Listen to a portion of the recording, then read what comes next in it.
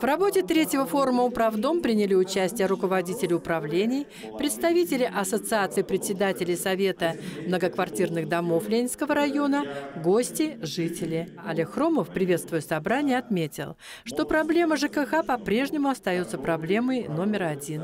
Однако за последние годы получается организовать диалог между властью и управляющими компаниями.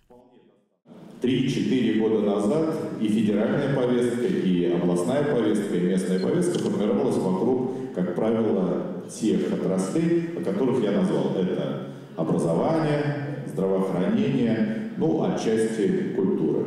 Сегодня запросы жителей очень резко меняются. В том числе и меняется работа самой власти по отрабатыванию тех э, требований, которые нам предъявляют жители. Большой проблемой остается собрать собственников и выбрать председателя. Ведь от этого во многом зависит плодотворная работа системы ЖКХ и контроль за деятельностью управляющих компаний. У нас проблема Березовая 9. Это дом новостройка, где магазин Виктория, большой дом. Вот они уже полгода не могут провести общее собрание, потому что это очень трудно собрать всех собственников, даже при очной и заочной форме голосования. В Ленинском районе более 700 домов сданы в эксплуатацию. Во многих есть советы, в некоторых они есть только на бумаге. Но ситуация все же меняется к лучшему. На форуме обсуждалась, кроме всего прочего, тема защиты прав собственников жилья, вопрос придомовой территории и общедомового имущества.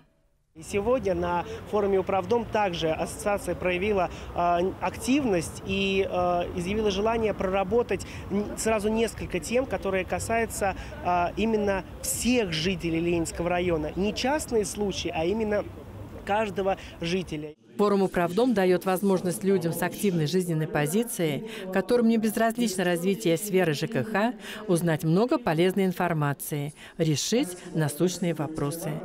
Людмила Медведева, Евгений Петров, Анастасия Нурхонова. Видно этого.